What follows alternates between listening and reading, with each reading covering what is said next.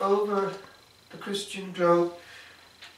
today's readings will be commented upon in various ways, but we need to bear in mind that the teacher is Christ the Master, and it is our role to listen, not to add or take away, or to think that we have grown up and know more. We are nothing. The disciple is the one who listens. The root of learning is there in the word disciple. Let us ask this grace then as we approach this gospel and also the first reading linked to it. What does it mean? Well, it would seem that the Lord is trying to invite his listeners who think that they know the answer because they're putting him to the test, to a higher level, to a deeper meaning, to the origin of all things, and therefore the plan of God, for the good of his creation. There is also something the Pharisees, who are experts on the law, are not aware of, that they have the very lawgiver before them, the Alpha and the Omega, who has far more authority than Moses, and that this same person, being the Son of God, is, before he ascends into heaven, going to set up a system which will last until the end of time to transmit the life of God to his creatures, the sacramental system, the church itself. And in that, this sacred bonding between the two highest creatures on earth, man and woman, is going to be elevated to something which is going to be in some way linked with the Blessed Trinity by its very essence. And in that context, we begin to intuit what we're at when we join a man and woman together in holy matrimony sacramentally. It's no longer under our control. It's no longer just two. There's a third element, a third party, greater than all the rest. Therefore, one cannot undo what is being done there.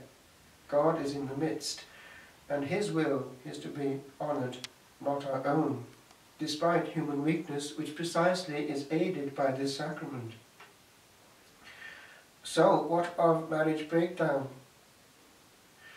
It is almost to make fun of the hundreds and hundreds of hidden victims of marriage breakdown over the centuries who have quietly accepted their situation but have never come back on their vow and therefore have remained alone even though abandoned.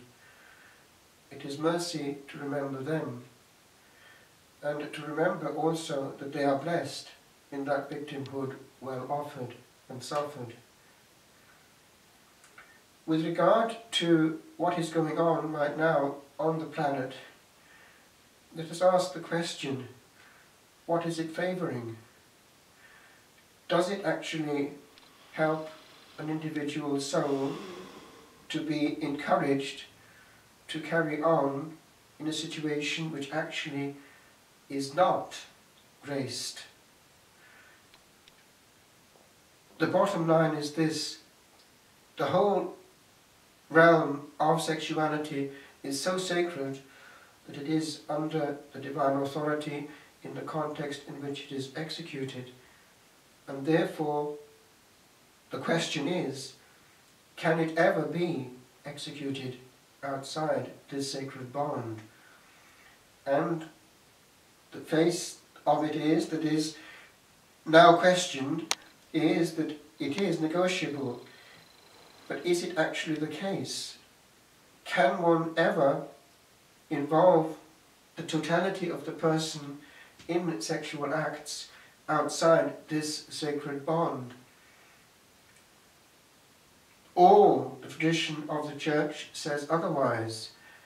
Therefore, any commentary on this has to be placed in that global context. Can we actually change that central bit? It is true that there are situations of helping to bring up children, limiting the damage of a new state which has happened somewhere along the line, but the central question still remains. can one actually commit this act outside the sacred bond?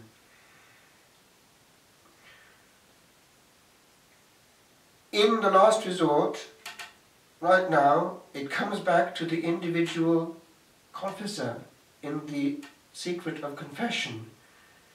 Now he has to be respected.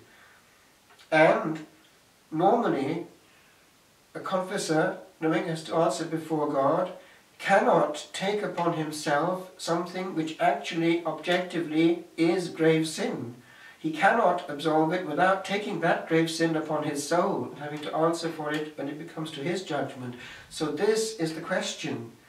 One has to respect the confessor.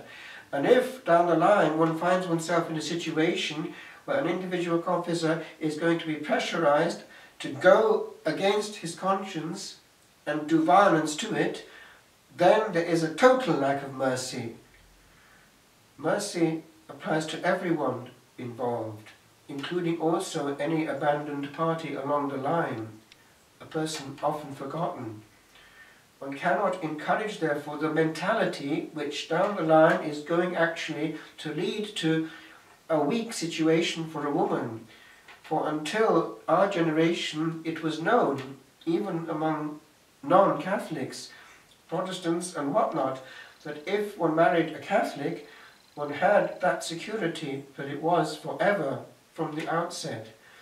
If one brings in another mentality, one is only going to favour the already fragile nature of man, encouraging the notion of ad experimentum, and then will heal the consequences if it doesn't work out. John Paul II did not easily give laicization to priests. His line was, one had to think about it hard before, before ordination. The mentality of being able easily then to be laicized and to make a new life doesn't help the young man who engages, and so it is with marriage.